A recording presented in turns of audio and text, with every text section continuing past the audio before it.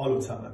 Es ist eine ganz spezielle Situation, eine schwierige Situation, die wir alle derzeit durchmachen. Mein erster Gedanke geht an alle, die betroffen sind, an Familien, die Opfer hatten und denen wollte ich alle meine guten Gedanken äh, uns richten und bleiben stark.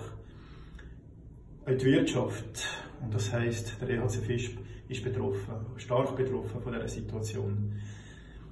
Es ist die Frage gestellt worden, wie kann man auf Seite der Öffentlichkeit, aber auch von den Institutionen und dem Club äh, wie ein EHC Fisch helfen. Gewisse Massnahmen sind schon eingeleitet worden.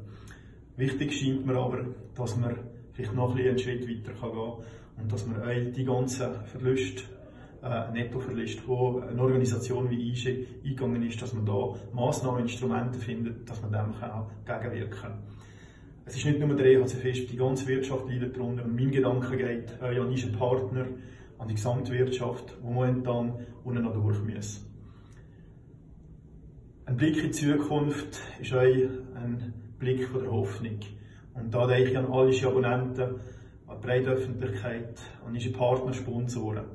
Und äh, nebst innovativen Instrumenten, die wir von den Politikern erwarten, für die momentane Situation können, äh, zu überwältigen, äh, geht es mir eigentlich auch darum, morgen, morgen zu denken. Und irgendwann spielen wir in dieser Hockeyhalle wieder vor viel Publikum Hockey und da sind wir auch wieder angewiesen an äh, liebe Fans von mir, EHC Fisch, aber auch Partner, dass der wieder mit Verdrehen in unserem Club beisteht.